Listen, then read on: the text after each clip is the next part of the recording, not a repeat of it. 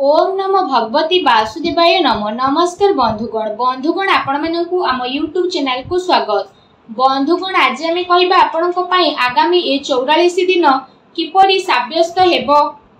ତା ସହିତ ଯଦି କହିବା କେଉଁ ସବୁ ଜିନିଷରେ ଆଗାମୀ ଏ ଚଉରାଳିଶ ଦିନରେ ଆପଣଙ୍କୁ ଫାଇଦା ହେବ କେଉଁ ସବୁ ଜିନିଷରେ ଆପଣଙ୍କୁ ସାବଧାନତା ରହିବାକୁ ପଡ଼ିବ ଆପଣଙ୍କର ଲଭ୍ ଲାଇଫ୍ କିପରି ରହିବ କ୍ୟାରିୟର କିପରି ରହିବ ବିଜନେସ୍ ଆଉ ବ୍ୟାପାର କିପରି ରହିବ ଏବଂ ସ୍ୱାସ୍ଥ୍ୟର ମହତ୍ୱପୂର୍ଣ୍ଣ ଇନଫର୍ମେସନ୍ ମଧ୍ୟ ଆମେ ଆପଣମାନଙ୍କୁ ଦେବୁ।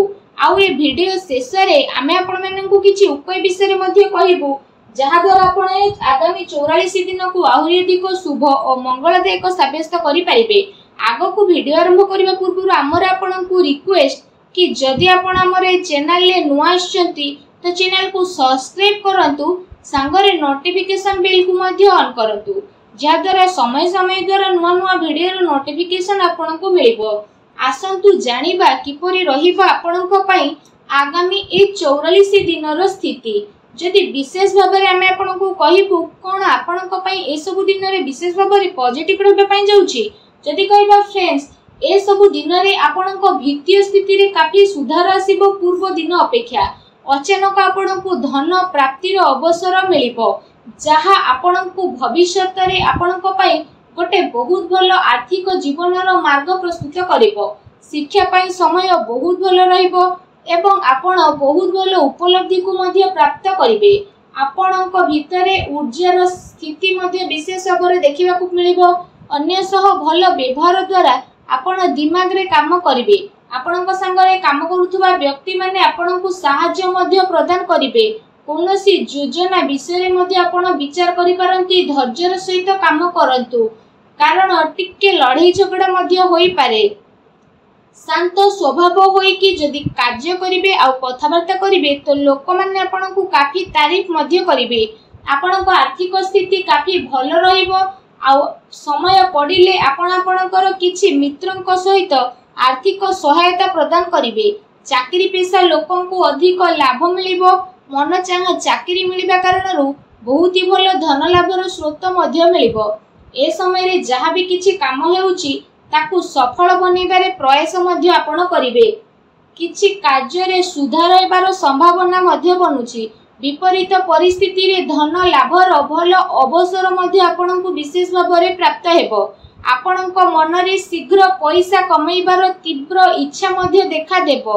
ଏହା ସେହି ସମୟ ଯେଉଁଥିପାଇଁ ଆପଣଙ୍କ ପାଇଁ ସଫଳତା ନେଇକି ଆସିବ। ନିଜ ଉଦ୍ଦେଶ୍ୟକୁ ନେଇକି ଶାନ୍ତିରେ ଆଗକୁ ବଢ଼ିବେ ଆଉ ସଫଳତା ଆପଣଙ୍କୁ ମିଳିବ। ତା ସହିତ ଯଦି ସମୟର ଧୈର୍ଯ୍ୟର ସହ ଅପେକ୍ଷା ନ କରିବେ ତ ଭଲ ପରିଣାମ କିପରି ମିଳିବ? କାମ କାର୍ଯ୍ୟ ବଦଳିବା କାରଣରୁ ଏ ଚଉରାଳିଶ ଦିନର ସ୍ଥିତି ଆପଣଙ୍କ ପାଇଁ ବହୁତ ହି ଭଲ ରହିବ ଯାହାଦ୍ୱାରା ଆପଣଙ୍କ ମନ ବହୁତ ହି ପ୍ରସନ୍ନ ରହିବ। ଆସନ୍ତୁ ଜାଣିବେ ଏ ସମୟରେ ଆପଣଙ୍କ ପାଇଁ ବିଶେଷ ଭାବରେ କ'ଣ ନେଗେଟିଭ୍ ରହିବ। ଆପଣଙ୍କୁ ଆପଣଙ୍କ ଭାଇ ଭଉଣୀଙ୍କର ସହଯୋଗତା ପ୍ରାପ୍ତ ହେବ ଆଉ ସମାଜରେ ଆପଣଙ୍କର ଆଉ ଆପଣଙ୍କ ପରିବାରର ମାନ ସମ୍ମାନ ବଢ଼ିବ। ପରିବାରର ଜରୁରତକୁ ଧ୍ୟାନରେ ରଖିକି କାର୍ଯ୍ୟ ଆପଣଙ୍କୁ କରିବାକୁ ପଡ଼ିବ। ଯାହା କେତେଥର ଆପଣଙ୍କ ନିୟନ୍ତ୍ରଣରେ ବାହାର ରହିବ ଆଉ ଏଥିପାଇଁ ଆପଣଙ୍କୁ ପ୍ରୋବ୍ଲେମ୍ ଆସିପାରେ। ଏହା ସହିତ କୌଣସି ଖାସ୍ ସଉଦା ବା ବଡ଼ ଫଇସଲା ଠାରୁ ବଞ୍ଚେଇକି ରୁହନ୍ତୁ। କାରଣ ଯଦି କିଛି ଫଇସଲା ନ ନେଉଛନ୍ତି ତ ପରେ ଅସୁବିଧା ଆସିପାରେ। କେଉଁଠି ନା କେଉଁଠି ଯଦି କହିବା ପରିସ୍ଥିତିରେ ରୋକାବଟ ଆସିପାରେ ଜୋସ୍ରେ ଆସିକି କାହାକୁ ବି ବିନା ମାଗି କୌଣସି ଉପଦେଶ ଦିଅନ୍ତୁ ନାହିଁ। କଠିନ ପରିସ୍ଥିତି ଦ୍ୱାରା ସବୁ କାର୍ଯ୍ୟ ଆପଣଙ୍କର ପୂର୍ଣ୍ଣ ହେବ। କିନ୍ତୁ ଅନାବଶ୍ୟକ ଖର୍ଚ୍ଚ ହେବା କାରଣରୁ ଆର୍ଥିକ ସ୍ଥିତି ପ୍ରତିକୂଳ ହୋଇଥାଏ। ଲେଣ ଦେଣରେ ସାବଧାନତା ରଖନ୍ତୁ। ପାରିବାରିକ ମାହୋଲ ମଧ୍ୟ ବହୁତ ହି ଭଲ ରହିବ। କିନ୍ତୁ ଫ୍ରେଣ୍ଡସ୍ଙ୍କ ସହ ଟିକେ ମନାନ୍ତର ମତାନ୍ତର ହୋଇପାରେ। ସମ୍ବେଦନଶୀଳ ମାମଲାରେ ସାବଧାନରେ ଚାଲିବାର ଆବଶ୍ୟକତା ରହିଛି। ସଂଶୋଧନରେ ଖର୍ଚ୍ଚ ହେବା ଦ୍ୱାରା ମାନସିକ ଅଶାନ୍ତି ତଥା ଚିନ୍ତାପୂର୍ଣ୍ଣ ସ୍ଥିତି ମଧ୍ୟ ଆସିପାରେ। ଆତ୍ମବିଶ୍ୱାସର ଅଭାବରେ କରାଯାଇଥିବା କାର୍ଯ୍ୟରେ ରୋକାବଟ ତଥା ବାଧା ମଧ୍ୟ ଆସିପାରେ। ବ୍ୟବସାୟିକ ଦୃଷ୍ଟିରୁ ସମୟ ଆପଣଙ୍କ ପାଇଁ ସାମାନ୍ୟ ମଧ୍ୟ ରହିବ। ନିଜର କାର୍ଯ୍ୟ ଯୋଜନାକୁ ବିସ୍ତାର ଦେବା ଆପଣଙ୍କ ପ୍ରୋବ୍ଲେମର କାରଣ ମଧ୍ୟ ହୋଇପାରେ। ଚିନ୍ତା ଏବଂ ମତଭେଦ ଆପଣଙ୍କୁ ଚିଡ଼ଚିଡ଼ା ମଧ୍ୟ ବନାଇପାରେ। ଆପଣ ଆପଣଙ୍କର ପରିଚିତଙ୍କ ଉପରେ ନିଜର ଫଇସଲା ଥୋକିବା ପାଇଁ ଚେଷ୍ଟା କରିବେ। ଏହାଦ୍ୱାରା ଆପଣଙ୍କୁ ହିଁ ନୁକସାନ ମିଳିବ। ଶୁଣାଯାଇଥିବା କଥାରେ ଆଖି ବନ୍ଦ କରି ବିଶ୍ୱାସ କରନ୍ତୁ ନାହିଁ। ସଚ୍ଚାଇକୁ ପ୍ରଥମେ ଜାଣିବା ପାଇଁ ଚେଷ୍ଟା କରନ୍ତୁ ବାଣୀରେ ନିୟନ୍ତ୍ରଣ ରଖନ୍ତୁ ଅନ୍ୟଥା କଳିଝଗଡ଼ା ହେବାର ସମ୍ଭାବନା ରହିଛି ସାବଧାନ ରୁହନ୍ତୁ ଆସନ୍ତୁ ଜାଣିବା ଏ ସମୟରେ ଆପଣଙ୍କର ଲଭ୍ ଲାଇଫ୍ କିପରି ରହିବ। କୌଣସି ପ୍ରକାରର ଯାତ୍ରା ବା ସପିଂ ଆଦିକୁ ନେଇ କଥା ହୋଇପାରେ। ଏମିତିରେ ଆପଣଙ୍କୁ ମଧୁର ସମ୍ବନ୍ଧ ବନେଇ ରଖିବା ପ୍ରୟାସର ଆବଶ୍ୟକତା ରହିଛି। ଆପଣଙ୍କ ପ୍ରୟାସ ଦ୍ୱାରା ସ୍ଥିତି ଅନୁକୂଳ ମଧ୍ୟ ରହିବ। ଆପଣ ଆପଣଙ୍କର ସମ୍ପର୍କକୁ ନୂଆ ରଚନାତ୍ମକରେ ନେବେ ଆଉ ତାକୁ ମଜବୁତ ମଧ୍ୟ କରିବେ। ଏହାଦ୍ୱାରା ଆପଣ ଜଣେ ଆଉ ଜଣଙ୍କ ପ୍ରତି ଅତ୍ୟଧିକ ଆକର୍ଷଣ ଅନୁଭବ କରିବେ। କିନ୍ତୁ ଧ୍ୟାନ ରଖନ୍ତୁ ମର୍ଯ୍ୟାଦିତ ଆଚରଣ କରିବା ହିଁ ସର୍ବଥା ଉଚିତ ରହିବ। ତା ସହିତ ଆପଣଙ୍କୁ ଆପଣଙ୍କ ପ୍ରିୟତମଙ୍କୁ ଏହା ଅନୁଭବ କରିବାକୁ ପଡ଼ିବ କି ବାସ୍ତବରେ ଏ ସମ୍ପର୍କ ଆପଣଙ୍କ ପାଇଁ ବହୁତ ହି ମହତ୍ୱପୂର୍ଣ୍ଣ ତା ସହିତ ଏହା ଆପଣଙ୍କ ପାଇଁ ସବୁ କିଛି ରହିବ। ଏ ଦିନ ଆପଣଙ୍କ ପ୍ରେମ ଜୀବନ ପାଇଁ ବହୁତ ହି ଭଲ ଦିନ ସାବ୍ୟସ୍ତ ହେବ।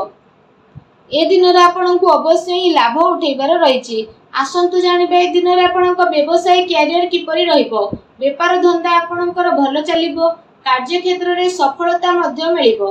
କାର୍ଯ୍ୟଭାରର ତ ଅଧିକତା ରହିବ ଯାହାଦ୍ୱାରା ପରିଶ୍ରମ ଆପଣଙ୍କୁ ଅଧିକ କରିବାକୁ ପଡ଼ିବ। ଆଉ ପୁରା ଦିନ ଆପଣଙ୍କର ଦୌଡ଼ା ଦୌଡ଼ିରେ କଟିବ। କାମ କାର୍ଯ୍ୟ ସିଲସିଲାରେ କୌଣସି ଛୋଟ ଯାତ୍ରାରେ ମଧ୍ୟ ଯିବାକୁ ପଡ଼ିପାରେ। ଯାହା ଆଗକୁ ଯେ ଆପଣଙ୍କ ପାଇଁ କାଫି ଲାଭଦାୟକ ହେବ ଏହା ସହ ଆପଣଙ୍କୁ ଧନ ପ୍ରାପ୍ତିର ମଧ୍ୟ ଅନେକ ଅବସର ପ୍ରାପ୍ତ ହେବ। ଯାହାଦ୍ୱାରା ଆପଣଙ୍କ ମନ ମଧ୍ୟ ବହୁତ ହି ପ୍ରସନ୍ନ ରହିବ। ମେଡିକାଲ ସହ ଜଡ଼ିତ ଛାତ୍ରଙ୍କ ପାଇଁ ମଧ୍ୟ ଏ ସମୟ ବହୁତ ହି ଭଲ ରହିବ। ଚାକିରି କରୁଥିବା ବ୍ୟକ୍ତି ବିଶେଷଙ୍କ ପାଇଁ ଏ ଦିନ ବହୁତ ହି ମିଲାଜୁଲା ରହିବ। ତା ସହିତ ଏ ଚଉରାଳିଶ ଦିନରେ ଆପଣ ଆପଣଙ୍କ ବ୍ୟବସାୟକୁ ନେଇ କୌଣସି ଯାତ୍ରା କରିପାରନ୍ତି ଯାହାର ଆପଣଙ୍କୁ ସକାରାତ୍ମକ ପରିଣାମ ପ୍ରାପ୍ତ ହେବ। ବ୍ୟବସାୟିକ ଦୃଷ୍ଟିରେ ଏ ଦିନର ସ୍ଥିତି ଆପଣଙ୍କ ପାଇଁ କାଫି ଅନୁକୂଳ ରହିବ। ଆଉ ଏ ସମୟରେ କିଛି ଭଲ ଲାଭ ମଧ୍ୟ ଆପଣଙ୍କୁ ପ୍ରାପ୍ତ ହେବ ଯାହାର ଆପଣଙ୍କୁ ଲମ୍ବା ସମୟରୁ ଅପେକ୍ଷା ରହିଥିଲା। ଆସନ୍ତୁ ଜାଣିବା ଏ ଦିନରେ ଆପଣଙ୍କ ସ୍ୱାସ୍ଥ୍ୟ କିପରି ରହିବ। ବିଶେଷ ଭାବରେ ଏ ଦିନରେ ଆପଣ ଆପଣଙ୍କ ସ୍ୱାସ୍ଥ୍ୟକୁ ନେଇ ଆଦୌ ବି ଚିନ୍ତିତ ରହିବାର ଆବଶ୍ୟକତା ନାହିଁ। କାରଣ ଏ ସମୟରେ ସ୍ୱାସ୍ଥ୍ୟ ଆପଣଙ୍କୁ ଭରପୁର ସାଥ ଦେବ। ସ୍ୱାସ୍ଥ୍ୟ ଦ୍ୱାରା ଆପଣ ଖୁସି ଅନୁଭବ ମଧ୍ୟ କରିବେ। ନିଜେ ନିଜକୁ ଉର୍ଜାମାନ ଏବଂ ଚିନ୍ତାମୁକ୍ତ ମଧ୍ୟ ଏ ସମୟରେ ଅନୁଭବ କରିବେ। ଯାହାଦ୍ୱାରା ଆପଣଙ୍କ ମନ ବହୁତ ହି ପ୍ରସନ୍ନ ରହିବ। ନିଜ ସ୍ୱାସ୍ଥ୍ୟକୁ ଆହୁରି ଅଧିକ ଭଲ ରଖିବା ପାଇଁ ଆପଣ ପ୍ରତ୍ୟେକ ଦିନ ଯୋଗ କରନ୍ତୁ ବ୍ୟାୟାମ କରନ୍ତୁ ସୁସ୍ଥ ରୁହନ୍ତୁ। ଆସନ୍ତୁ ଜାଣିବା ଏ ଦିନରେ ବିଶେଷ ଉପାୟ କ'ଣ ରହିଛି?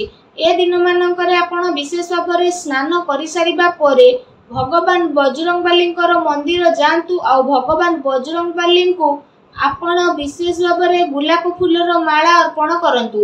ଏହା ସହିତ ନିଜର ମନୋକାମନା ମାଗନ୍ତୁ। ଏପରି କରିବା ମାତ୍ରେ ହିଁ ଭଗବାନ ବଜରଙ୍ଗବାଲି ବହୁତ ଶୀଘ୍ର ପ୍ରସନ୍ନ ହେବେ ଏବଂ ଆପଣ ସମସ୍ତ କଷ୍ଟକୁ ମଧ୍ୟ ଦୂର କରିବେ। ଯାହା ବି ଆପଣଙ୍କ ଜୀବନରେ ପ୍ରୋବ୍ଲେମ୍ ଚାଲିଛି ସବୁ ପ୍ରୋବ୍ଲେମ୍କୁ ଦୂର ମଧ୍ୟ କରିବେ। ତା ସହିତ ଆପଣ ପ୍ରତ୍ୟେକ ଦିନ ହନୁମାନ ଚାଳିଶା ମଧ୍ୟ ପାଠ କରନ୍ତୁ ଆଉ ସୂର୍ଯ୍ୟଙ୍କୁ ଜଳାର୍ଘ୍ୟ ଅର୍ପଣ କରନ୍ତୁ। ଭିଡ଼ିଓଟି କେମିତି ଲାଗିଲା କମେଣ୍ଟ କରିକି ଜଣାନ୍ତୁ ଚ୍ୟାନେଲରେ ନୂଆ ଆସିଲେ ଚ୍ୟାନେଲକୁ ସବସ୍କ୍ରାଇବ୍ ମଧ୍ୟ କରନ୍ତୁ। ଧନ୍ୟବାଦ।